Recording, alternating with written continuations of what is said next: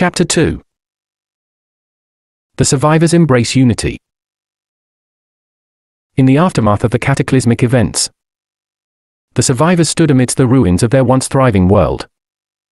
Their hearts heavy with the weight of loss and the uncertainty of the future. Yet, as they looked around and saw the faces of their fellow survivors, a glimmer of hope began to kindle within their souls. They were the chosen ones, brought together by an unseen hand, destined to rise from the ashes and rebuild humanity with newfound unity. The survivors, drawn together by a shared purpose, found solace in each other's presence. They were no longer strangers separated by the boundaries of their tribes, but a collective force forged by the trials of survival. In their eyes, they glimpsed the reflection of their own strength and resilience. And in their hearts, they held a profound understanding of the value of companionship. With determination in their hearts, they set forth on a daunting endeavor to rebuild mankind and establish a society that would cherish peace and harmony above all else. They vowed to break the vicious cycle of conflict and violence that had plagued their past, choosing a path of unity that would bind tribes together as one. Gathering in makeshift assemblies, the survivors discussed and debated the best course of action. They knew that unity could only be achieved through mutual respect and understanding and that war would only lead to further destruction.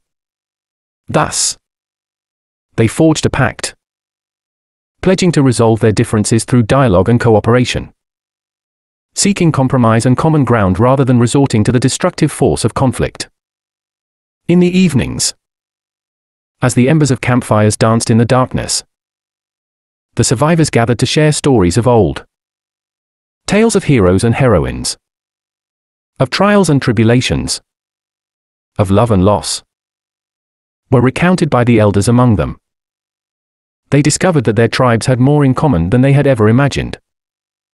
As the threads of shared heritage and experiences wove a tapestry of connection. Among these stories, the one that resonated the most was the ancient tale of Akama, the divine creator. As they listened, they felt a profound sense of awe and humility for it was believed that Akama had played a hand in their survival.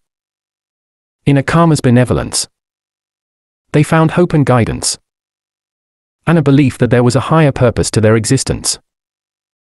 Inspired by the teachings of Akama, the survivors embraced a newfound spirituality. They learned to commune with nature and find solace in the beauty of the world around them.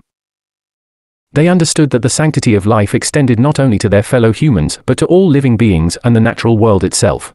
In their hearts, they held a deep reverence for the animals and plants that sustained them, recognizing the interconnectedness of all life. With their shared purpose, guided by the wisdom of their stories and beliefs, the survivors embarked on a remarkable journey. They faced hardships and challenges, but their unity remained steadfast. As they worked side by side, they discovered the strength that lay in collaboration, the joy that came from shared victories, and the healing power of a united spirit. As seasons passed and years turned into decades, the survivors' efforts bore fruit. Their once fragmented tribes evolved into a thriving civilization, built on the principles of unity, compassion, and respect for all life. Their collective memory of the cataclysmic events became a reminder of the importance of cherishing what they had and forging a better future together. The legacy of the survivors endured through generations, becoming a beacon of hope for humanity.